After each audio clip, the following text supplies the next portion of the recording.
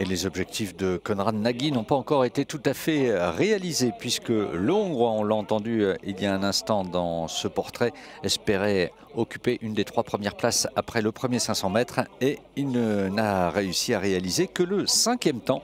Le meilleur temps a été signé par l'Italien Mirko Nenzi devant le Japonais Yuto Fujino, le Taïwanais Ching Yang-sung et le russe Artem Zolotarev qui devance donc le hongrois Konrad Nagy qui va avoir bien du mal à monter sur le podium sur ce 500 mètres. Il va lui falloir réaliser une excellente deuxième course. Une deuxième course qui va commencer avec le 500 mètres de l'Américain Robert Goodwin. Robert Goodwin qui a dû se contenter d'un temps de 41-13. C'est même le seul temps au-dessus des 40 secondes dans le premier 500 mètres. Alors qu'il est capable de courir sous les 40 secondes, l'Américain, puisque son record personnel sur la distance est de 39-55. L'étudiant de l'Université de l'Illinois qui avait pris la 24e place du 1000 mètres et la 24e place du 1500 mètres.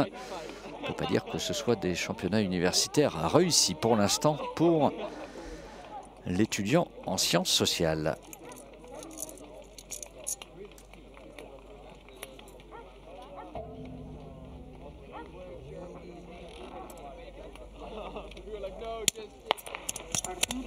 Voilà, c'est parti pour 500 euh, mètres pour Robert Goodwin.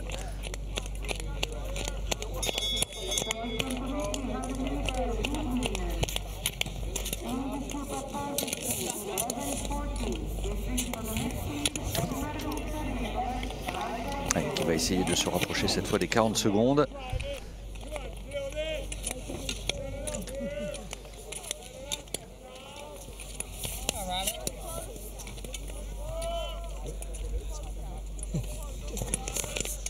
Ah, il ne paraît pas être sur le, bon tempo pour euh, réaliser une formidable performance. Non, ce sera à nouveau au-dessus des 40 secondes. 41, 28 pour Robert Goodwin, après donc 41-13 lors de son premier 500 mètres.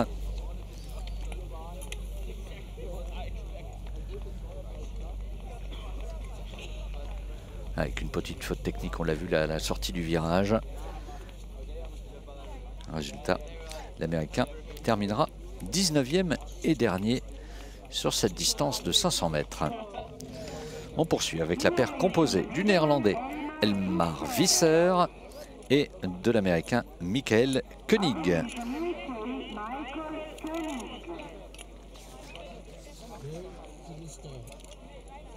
Elmar Visser, l'étudiant de l'université de Breda, qui avait pris la 12e place du 5000 mètres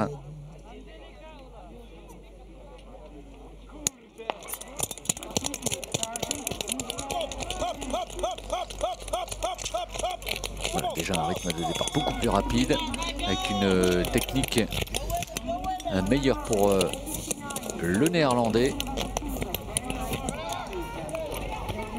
Qui a réussi à prendre euh, beaucoup de vitesse pour devancer l'américain.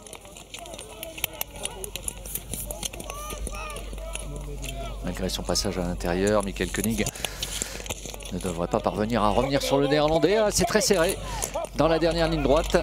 Et il me fait mentir, Michael Koenig.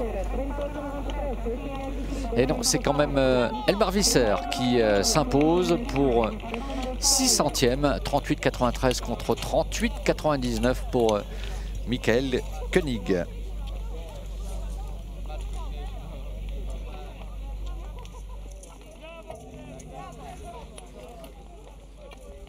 Et ce sera le 17e temps pour Visser, comme lors de la première course. Et 18e temps, là aussi, comme lors de la première course, pour euh, Michael Koenig. On poursuit avec le Polonais Wojciech Krasniki et le Biélorusse Maxime Krandatsieux.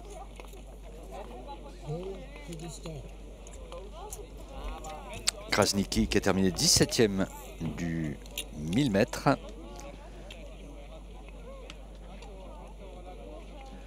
Alors que Le Biélorusse, lui, a pris la 20e place de ce 1000 mètres et la 23e du 1500 mètres.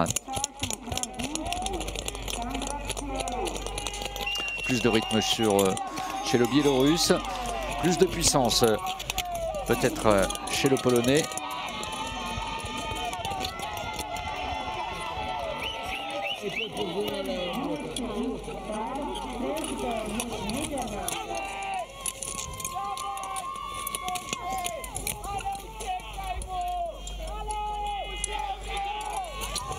Deux gabarits tout à fait différents. Le Polonais beaucoup plus fort, beaucoup plus puissant. Et c'est lui qui euh, remporte ce 500 mètres en 38-35 contre 38-60 pour Maxime Kandrathieu.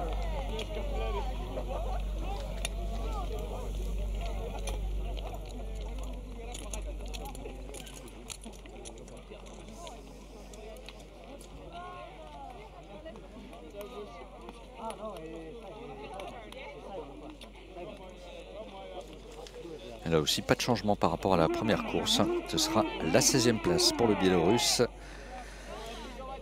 et la 15e pour le Polonais. On poursuit avec euh, l'Américain Andrew Turner et le Néerlandais Bart Vrogdanil.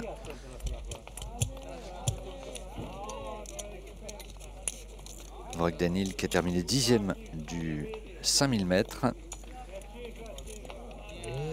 quatrième de l'épreuve de sprint par équipe avec euh, les Pays-Bas. Les Américains avaient terminé, eux, cinquième de cette épreuve de sprint par équipe.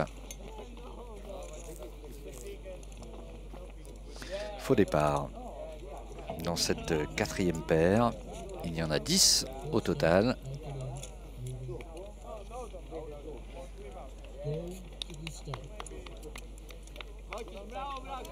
Andrew Turner, qui étudie les sciences naturelles à l'université de Minnesota. Alors que Vrogden Hill, lui, étudiant en commerce à l'université d'Amsterdam.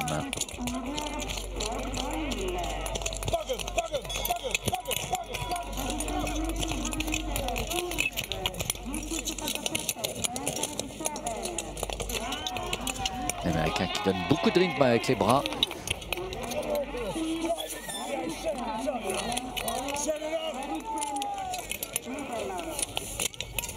Et qui pour l'instant possède un petit avantage sur le néerlandais, mais le néerlandais qui va sortir en tête dans le dernier virage pour peut-être aller chercher la victoire dans ce duel. Oui, c'est fait pour euh, Vrogdenil avec un temps de 38-05 contre 38-11 pour Andrew Turner.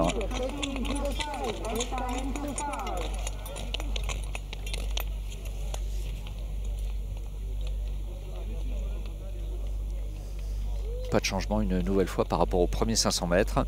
La deuxième course ne fait que confirmer les résultats de la première avec une 14e place pour l'Américain et une 15e place pour le Polonais. Deux Néerlandais à présent. Barry Span. Et à l'extérieur, Olof Gerritsen. Olof Gerritsen avec le brassard rouge.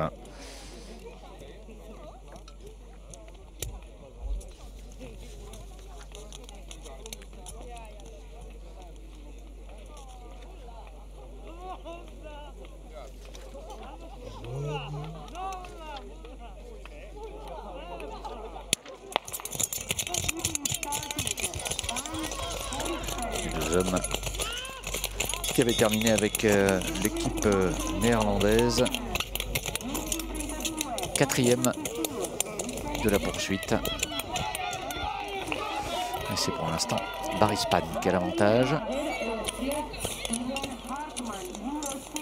Avec le brassard blanc.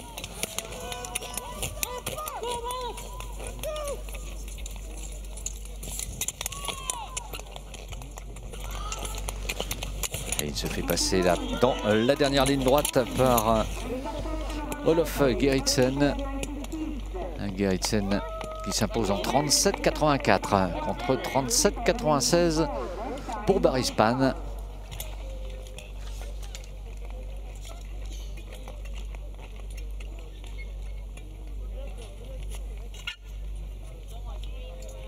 Gerritsen qui fait euh, un peu mieux que lors du premier 500 mètres où il s'était contenté de la 12e place. Il signera là le 10e temps de cette deuxième course.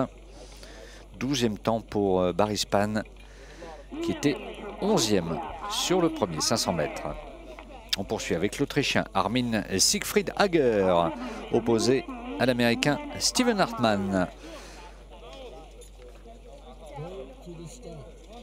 Steven Hartmann qui avait pris la sixième place du 1000 mètres, la dixième du 1500 mètres. Et face à lui donc Armin Siegfried Hager. Septième du 1500 mètres, l'étudiant de l'université d'Innsbruck.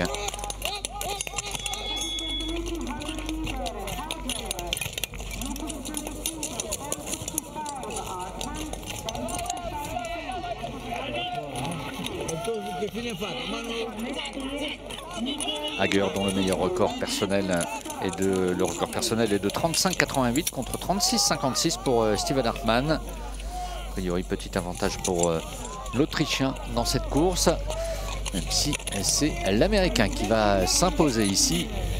Oui, avec un temps de 37,52 contre 37,92 pour l'Autrichien.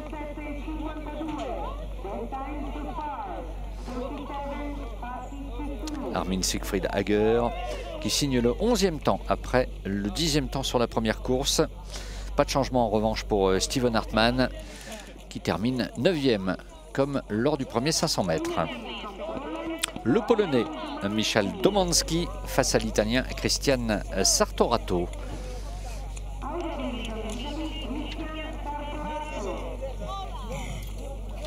Domanski qui avec la Pologne avait terminé deuxième de la poursuite du sprint par équipe sprint par équipe remporté par les Italiens et donc par Christian Sartorato.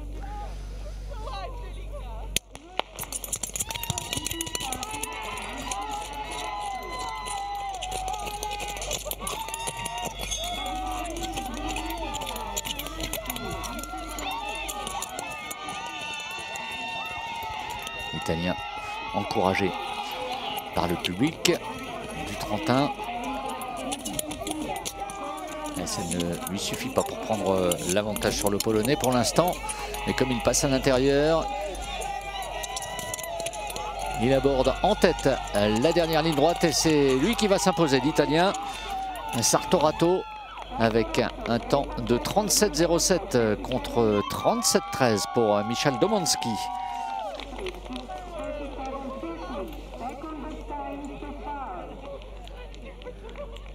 Petit mieux pour Christian Sartorato qui avait signé le septième temps de la première course et qui là réalise le sixième chrono. Petite amélioration également pour Michel Domanski qui avait terminé huitième du premier 500 mètres et qui finit septième de cette deuxième course. On poursuit avec Konrad Nadji, le Hongrois, seulement cinquième après le premier 500 mètres et l'Italien Alessio Trentini. Nagui, je vous le rappelle, vainqueur du 1500 mètres, c'était lors de la première journée de compétition et médaillé de bronze sur le 1000 mètres le lendemain, alors que Alessio Trentini n'a lui remporté que des épreuves par équipe. Le sprint et la poursuite il a fini 8e du 1000 mètres et 9e du 1500 mètres. Alessio Trentini.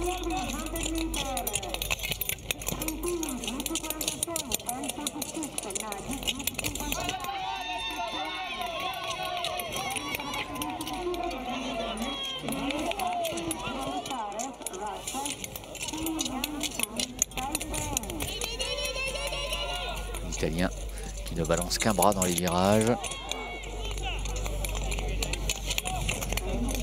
Et le finish va être serré, mais euh, ça va tourner finalement à l'avantage de Konrad Nadji avec un temps de 36,89, 37,22 pour Alessio euh, Trentini qui porte bien son nom, étudiant à l'université du Trentin en sciences cognitives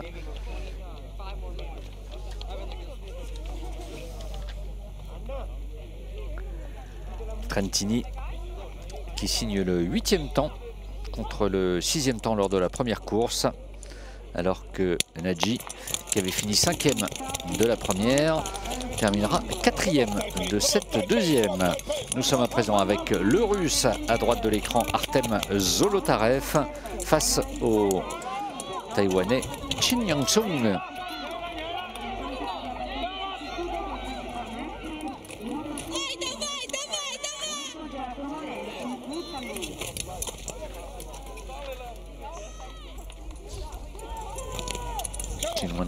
qui avait pris la cinquième place du 1000 mètres.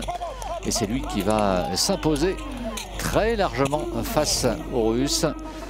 Temps de 37,93. Le premier a passé sous les 36 secondes. Chin Yang-sung et 37,01 pour Artem Zolotarev.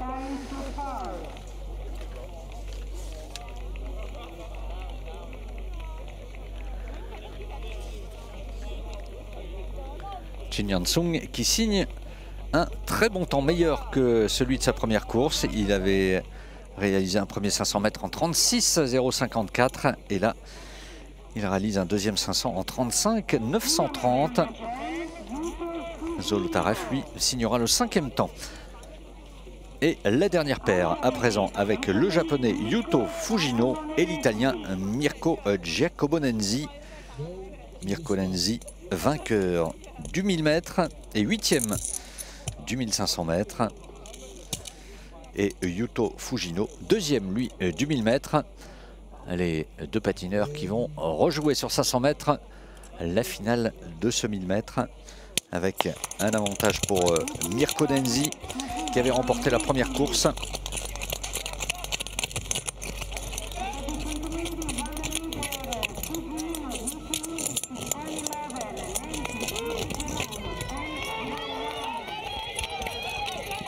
Fujino en très bonne position.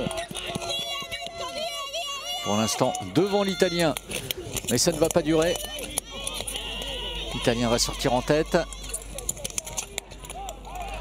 Oui, l'Italien qui va remporter son deuxième 500 mètres. Oui, voilà, ça fait avec un temps de 35,82 contre 36-09 pour euh, Yuto Fujino. Yuto Fujino qui doit même se contenter du troisième temps et qui ne va pas réussir à conserver la deuxième place sur ce 500 mètres. La deuxième place qui va revenir au Taïwanais Chin Yon-sung.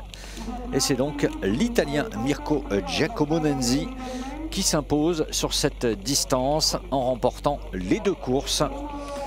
Victoire de Nenzi devant le Taïwanais Chin Yang-sung. Troisième place pour le Japonais Yuto Fujino. Le Russe Artem Zolotarev termine quatrième au total sur ces deux 500 mètres.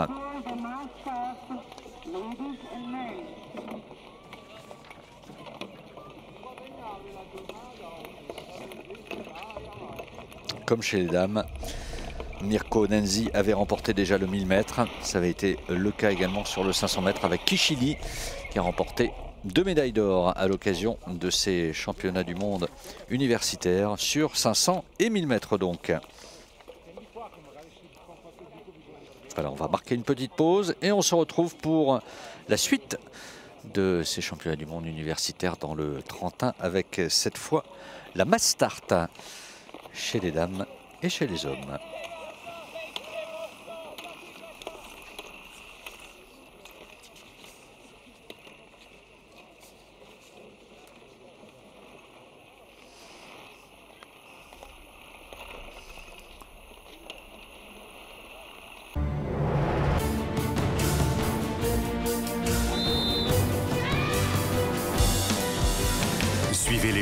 Du monde universitaire. FISU, star aujourd'hui, leader demain.